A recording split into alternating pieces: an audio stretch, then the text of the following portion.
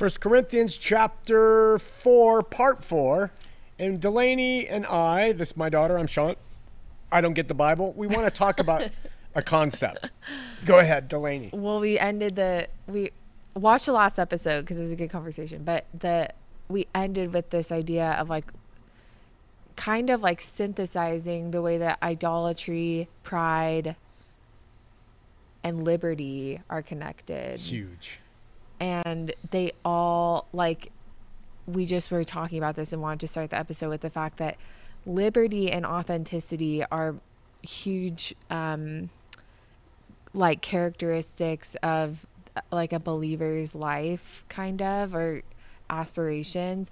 But liberty and authenticity in a worldly sense are extremely self-centered. Mm. like you know conservative i need my liberty like you can't tell me what to do sort of thing or artists authenticity. It's mm-hmm. funny it's kind of like a liberal mm-hmm. versus conservative. I always think liberals and conservatives just divide mm-hmm. what christianity is about in the, all the wrong ways. But um yeah like liberal authenticity let me be me they're both like super self-centered or self-driven but liberty and authenticity in christ are the opposite. They're about humility So if we took, we could make a little statement here: liberty and authenticity without God hmm.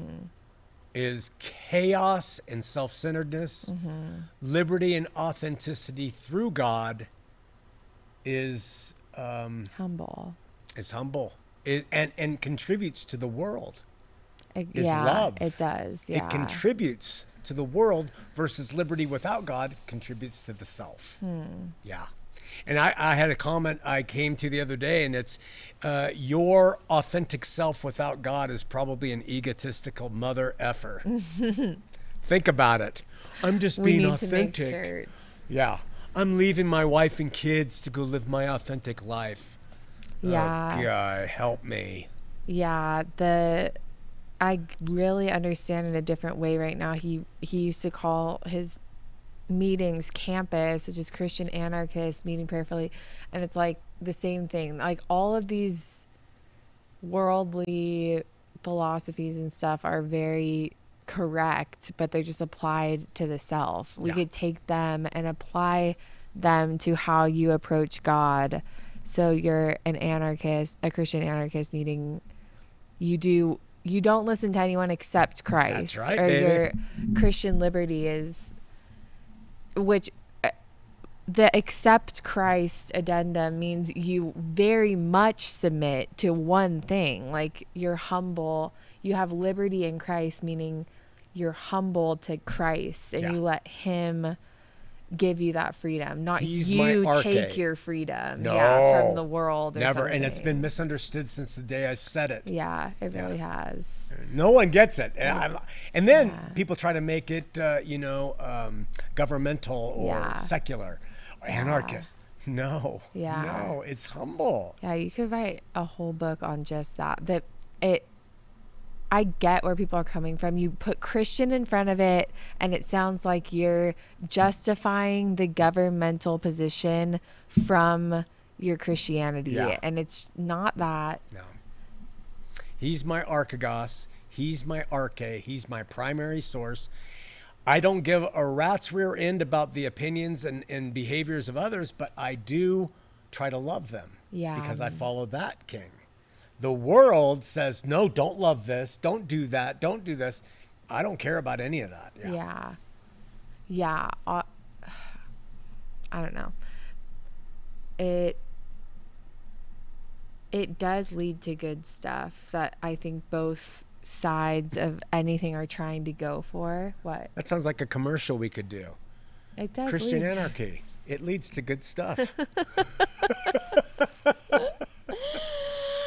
You get what I mean. yeah. Like love, it leads to love, which is what all these people are aspiring for, but they're doing it through an aspiration for themselves first, Which which, is is, not just love. the opposite. It's Yeah. self love. The systems work though; they're authentic For uh, liberals, world. for example, they they want authenticity for themselves. They they supposedly want authenticity for everybody. But the second they meet a authentic Nazi, that's not okay. Right, right. So like authenticity actually isn't the first thing that they are and their authenticity. There's Yeah.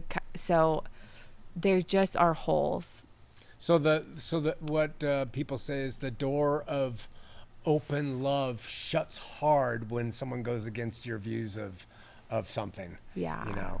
And so we don't we don't do that. We don't care. We love people as they are and trust God will lift them. Yeah. That's in in love there's liberty. That's probably the in real love, agape love, there's liberty. Yeah. But it's painful. Yeah. Yeah. Shall we? Yes, we shall. Speaking of Timothy, we get to that. Um, so he continues, I'm not writing these things to shame you, but to mm. warn you, warn you. to warn you. She's that that subtle thought of him being a pedophile just slipped into her head. Paul, I'm sorry. You can take it though. This is verse 14, by the way. That was so. I hate that so much. I'm not writing these things to shame. you. It's because shame. You know the Greek word for warm there is moisten. to warm, moisten you as my beloved children. Oh my gosh! That is so horrible. Oh my gosh. I think for that one I'm going to be a little bit further from God after this life. Jeez. Delaney, you're responsible for that. Oh, that was bad. That was so funny. For, for okay, I'm not writing these things to shame you, but to warn you as my beloved children. For even if you had 10,000 others to teach you about Christ, you have only one spiritual father. And then I get so confused here. For I became your father. I became your father in Christ Jesus when I preached the good news to you. So I urge you to imitate me. Yeah. Paul really can write arrogantly, and it sounds really arrogant at places. That's why I know a lot of believers who don't like him at all. He just said earlier this chapter to not, he Don't- doesn't know yeah. his own intention, yeah. judgment. And don't judge between me and Apollos. And now he's saying, Yeah. I'm your spiritual father. But you got to remember, what does a Jew mean when he says that? And he means I am I am helping you children. They're they're babes in the faith. They're still fighting with each other. So look to what I'm trying to tell you. It sounds arrogant to us, but in that day and age, I just I if he's arrogant, then I don't trust Paul. And I don't think he could be arrogant. So or unless he's trying to fight against some evil. Yeah. So I don't know. But those kinds of lines make him very suspect to some people. that is sus. That's because you're thinking of it in the way we think of it. Yeah, I'm going through exactly what we just talked about, which is like my there's a weird thing cuz you you have said too like we're given reason, we're given judge, we're given discernment. Mm-hmm. So and like the only way to understand the whole thing contextually is through discernment. But Mm-hmm. Just then you have to just let it go. Paul had a job to do, though, that we don't have. As an apostle, it was to keep that bride, believers, holy, pure, without spot, and undefiled for the coming of Christ to take her. So we have an attitude that comes out a little bit more dogmatically, more religiously, more cult like from Paul. You can't escape it. But that's the that's the place and time for that. When you think Christ hasn't come back and taken that bride, that's why we have uh, uh, people like Calvinists and pastors and leaders who take on that same attitude. I am your spiritual father. Follow me. I have been called by God to do it. And that, and that's why we have so many cases of abuse and pedophilia and all mm. these different things when men assume the same role without any entitlement. They try to be what Paul is doing there and they have no right to do it. Make sense? yeah, it's they should take it in context with the rest of what he said, but also, Uh, yeah, it makes sense. Sorry, I'm just thinking. Also, remove it from spiritual, religious things. Imagine that a war was coming yeah, and he's the general. He's not mincing words. yeah, Yeah. But he just said. I know, and it's Paul- like the opposite. That's that's the very thing we were talking about two shows ago with with scripture. You can't make it sit on all fours. It will always contradict. So our atheist friends who think scholarly views of it can make sense, they don't get really what was going on. Yeah. This is a proof and point. I'm so glad we're doing this. Yeah, and also there could be a way to see it as like he was telling them not to like not to be proud and not to like band together and divide over following Paul or Apollos or mm-hmm. something. But he's also humble. He's humble himself by saying, I don't even trust my own judgment. I'm doing all this work. He like listed all the stuff mm-hmm. and he's saying, imitate that Yeah. the humility that I've had in this time and like the work I'm putting in, imitate that rather than d- spending your energy dividing over each other. Right. I under I, that Yeah. does make some sense. And he'll have other epistles, and maybe even in this epistle, he's going to write, "How dare you judge somebody else? Hmm. The- who who wh- who's their master? It's mm-hmm. Christ." He doesn't say, you know, it's me. So we have these conflicting points of view. yeah, and he, this is literally this is following right when he says sometimes i think god puts us apostles on display our dedication to christ makes us look like fools hmm. so follow that like that's the sequence like follow the fact that i'm made to look like a fool like and that's how I'm your spiritual father. yeah, Yeah. like i'm a fool So now like, you're reading context. yeah that makes So it helps you understand that statement a little better. It really is a hard one, though. It That's is. confusing. I love that this is happening with us uh, as we go because you're seeing how to take one passage to prove a point is stupid. You there. It's so stupid. It's like taking a quote. Well, you can do this sometimes. There's the idea like the way you do anything is the way you do everything. Mm. And if you take it's like taking a quote from someone's life and saying this is what that person was Mm. by that quote. Sometimes you can kind of it's almost like art. You Mm. can see someone's whole life through a single thing they've said. Yeah, but good like point. Another view. you don't know. I don't know. Yeah, I love that. Keep going. Okay, so he says, That's why I've sent Timothy, my beloved and faithful child in the Lord. Boy, this is taking on a whole new light. Watch our previous episode. Please strip you that of your mind.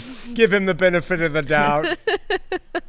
My beloved and faithful. He will remind you how I follow Christ Jesus, Oh, just as I teach in all the churches wherever I go. Some of you have become arrogant, thinking I will not visit again.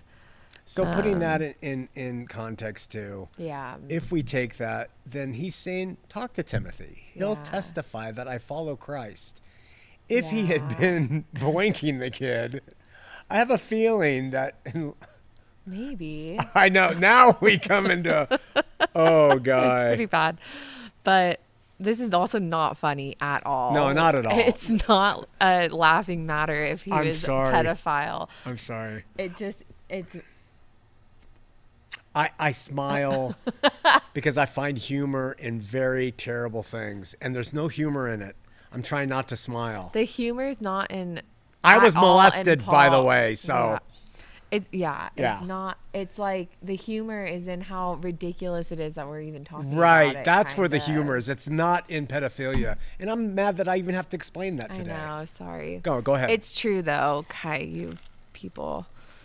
You people. Um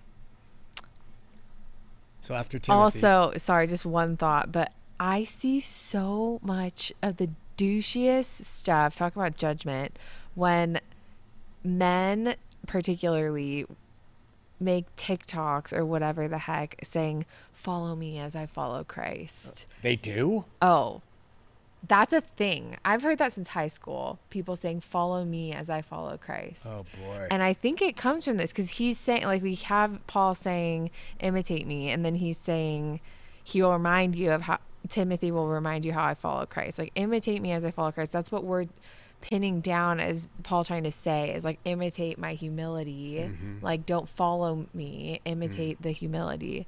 But yeah, that's like a line. Follow me as I follow Christ. Well, I see as that could be taken as don't listen to anything I do unless it comports itself perfectly with who Christ was. That's a humble way to see it. But follow me follow me as I follow as I Christ. follow Christ is a way to say, follow me because I'm following Christ. And that is not what It is not uncommon for people to say follow that. no man. Paul will say that too. It's so sick. No man. I need to find examples of it. Okay, we're we just have a few verses left of chapter four. Okay. So, um, I sorry at that last part. He says, "Some of you think, some of you have become arrogant, thinking I will not visit again." Another time where pride or arrogance is used in a place that I wouldn't have expected. Thinking I will not visit, like, does is that supposed to suggest that him visiting means they're doing something bad? Yes. so he won't need to visit. That's why they're arrogant. Okay. But I will come and soon if the Lord lets me. And then I'll find out whether these arrogant people just give pretentious speeches or whether they really have God's power. Um, And remember, remember that church was new. It Mm-hmm. was gathered together of Jews and Gentiles, Greeks, pagans, women learning to speak for the first time. Very culturally in a church. women cannot speak before they do. they were all mutes. that's what it sounded like. Oh, and I didn't mean to make fun of mutes either.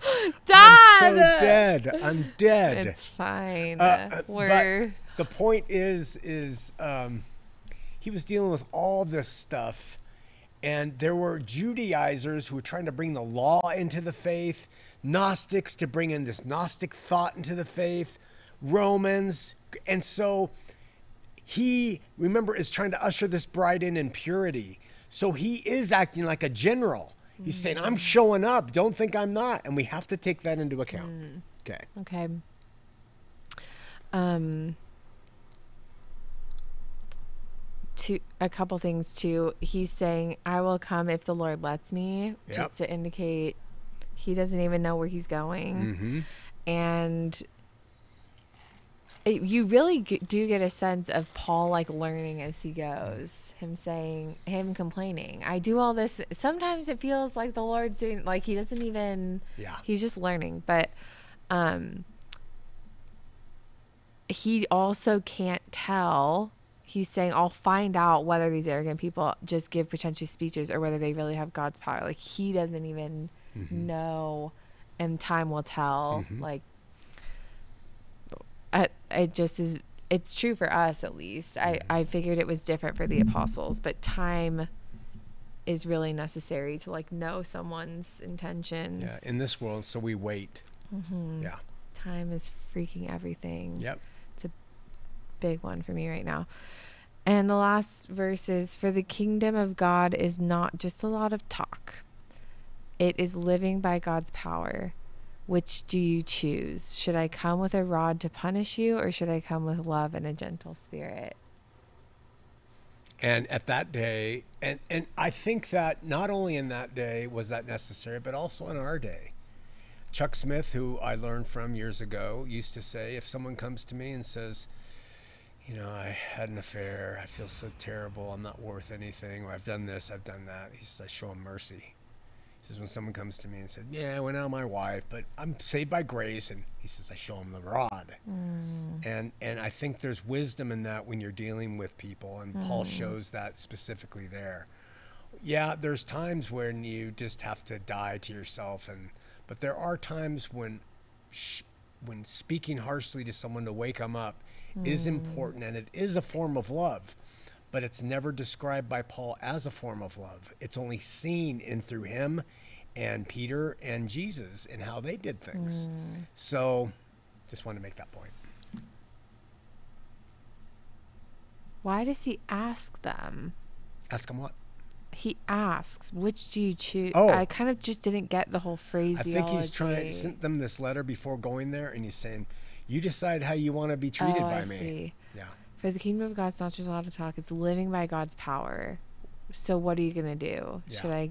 Should are you gonna live by God's power?